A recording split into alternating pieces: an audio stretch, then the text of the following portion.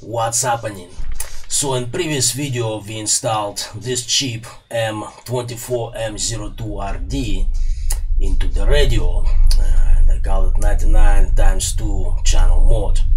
And some people complain that it does not work with IJV, it does not work with uh, Reborn. Check this out. I have this chip installed in this radio and it actually works I made it work. So in this video we are going to dive a little bit deeper and explore why for some people it does not work and how I made it work. This uh, we're not gonna do anything with our radio no modifications it's just explanation to the previous video. So we are talking about this video the mode that we did in this video 99 times 2 channel mode that mode is still valid. You can do it. Instructions are still good. Uh, everything's gonna work. Just uh, there are a few caveats so we're gonna go over them right now. Uh, basically the idea for this chip I actually got recommended this chip by uh, people on Fox's telegram channel. I asked which chip is the top of the line and they actually gave me the link to AliExpress and I bought it and that's how the video on this mod came about. And uh, for people on Fox's telegram channel for some of them this mod actually works. For others it did not work uh, work with some caveats. But yesterday I spent like a day and I fixed it and I know what the problem is. So let's describe the problem. Uh, when you first uh, solder this chip in this particular chip right? Uh, and you install reborn firmware everything works fine. But then when you press and hold the 3 key to switch to channel from VFO uh, you got zeros. At first it works fine but then you get zeros. Like no frequency nothing and you cannot exit back uh, from that mode. Uh, by pressing 3 again you have to dial frequency. So channel mode does not work in VFO that's uh, if in reborn firmware. In IJV it is the same thing. Well, if you first install when you first install the chip it seems to work fine but then you turn it on off and turn it back on. It does not memorize anything. Uh, but if you install second time it just straight up doesn't work. Nothing is memorized you go change squelch you switch the channel and come back the squelch is uh, still zero. So it does not work in IJV check this out. It says this is most likely an incorrect robot with an M24M02 chip it says you need M24 M02-A125 which has write byte 5 milliseconds. And the one that we installed M24 M02-DR is bad. Write byte is 10 milliseconds. IJV increased the recording speed to 5 milliseconds which is why M02 M0 M24 M02RD does not work correctly to record when the station is running. So that's uh, IJV's reasoning, but I actually found something else, so that's not the right byte, guys. You have to follow me on this one close. Let me show you the code for reborn firmware. I fixed it yesterday, it works now. So, here it is this file is EEPROM C and we have this function EEPROM write buffer. In function write buffer we have a delay system delay in milliseconds. And we have the system delay variable which is defined. So it's 10 it's defined as 10 milliseconds. Uh, so the delay is implemented. So it's not about the write speed uh, I dug deeper uh, in uh, file VF4-2C which is the file when you are in uh, this mode right here. You see it? Where you have two VFOs that's inside that file inside source code for this mode. So basically uh, when you long hold the 3 key right here it calls function radio toggle VFR VF4MR and let's go to radio.c we have this function here radio toggle VF4MR basically I traced it to radio which one was it? Next channel. This function right here radio next channel. That's a function that switches to next channel and we, if we go to this uh, function over here basically here was the line the original line that caused the problem. Here this line calls another, calls another function uh, channels existing and it, this function checks if the channel exists. So let's go to that function channels existing. So this is where the problem was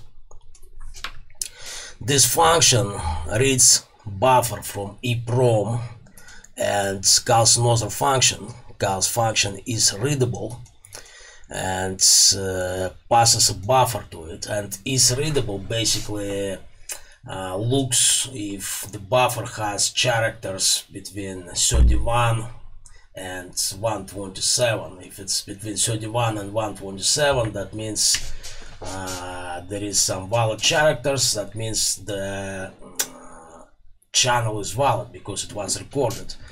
And here is the problem here was uh, the problem for that we found here. Basically uh, and I verified it with programmers. I use several different programmers. Uh, when you erase this chip this EEPROM it actually it shows you as that it is erased but when you read it it gives you garbage. That's what it is. Maybe it has to do something with the uh, read time but as I showed you in EEPROM that C there is a delay so I don't think that's that. But anyway I fixed it yesterday basically in uh, in uh, file radio.c in function radio next channel this is the line of code that I added. I just compare the radio frequency. If the frequency is zero well it's 27 by default. Uh, if the frequency is default that means the channel is empty. So now when you press and hold the 3 key oh, right here. When you press and hold the 3 key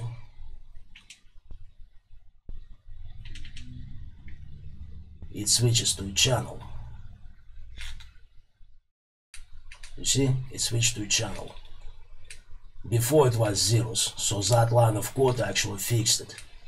I don't know I'm gonna be looking uh, further into this. Uh, I really want to see what kind of garbage it returns.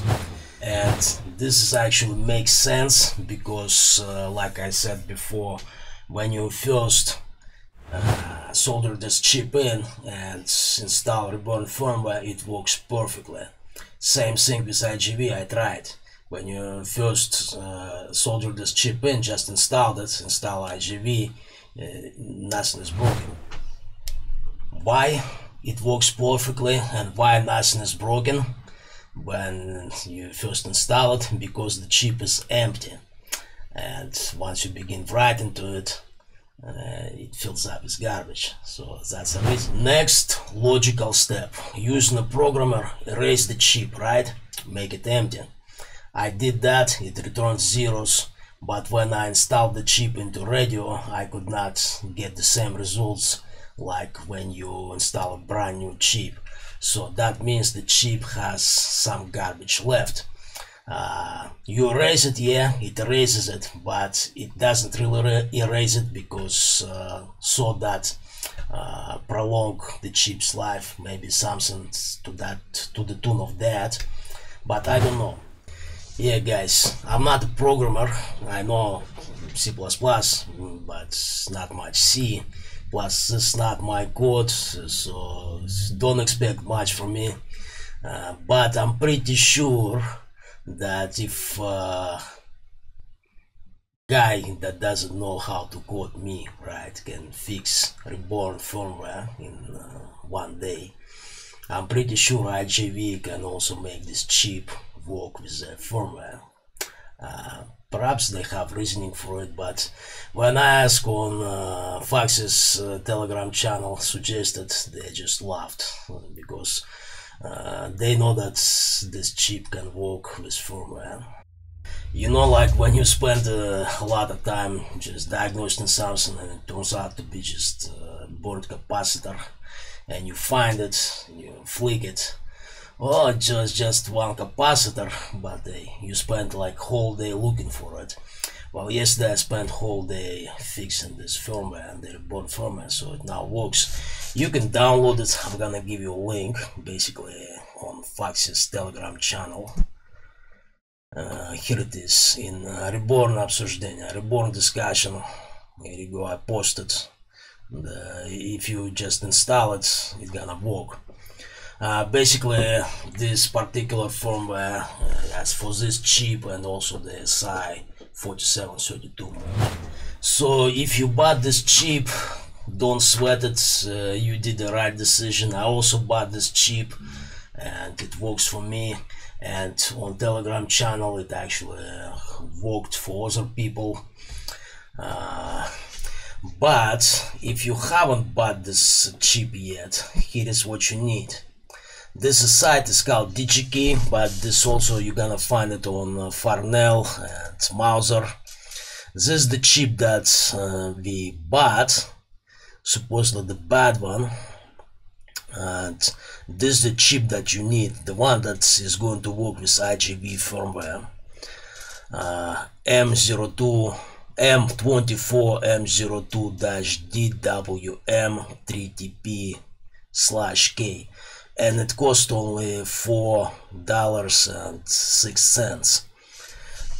Now uh, for me in Russia it makes no sense to buy that cheap because uh, it's expensive first of all. And second of all uh, usually uh, if you find it it's gonna be fake. Uh, it's in here in Russia it costs as much as one of these. For me it makes sense to buy the chip that I bought uh, from uh, AliExpress this one right here M24 M02 DRMN 6TP it's highly available here and it is cheap and it works. Uh, but IJV I guess Italians could fix it uh, what else? Uh, links to where to buy the proper chip where to buy the wrong chip that I have working here and to firmware that I modified yesterday. You're gonna find that in description. Uh, the previous video this one right here it is valid. Use the instructions I'm also gonna include links in this video's description but links you will find also in this video's description. Uh, basically these are the caveats. Uh, if you can uh, if you have access to DigiKey, Farnell, Mouser or even eBay I checked it is available on eBay but it could be fake on eBay. Uh, if you have access to those sites. If you're like in United States Europe maybe South America Australia uh, definitely buy that cheapest uh, for another uh, 4 millisecond access time. But for me this wrong wrong chip it works for me fine. Uh, I fixed the firmware so it's fine here. So this is going to be it guys. Uh, another video is coming up. Basically let me give you a preview. You see it right here. Overview and install. Uh, we're gonna do next video. So if you like this short one press like subscribe. I'm gonna see you next one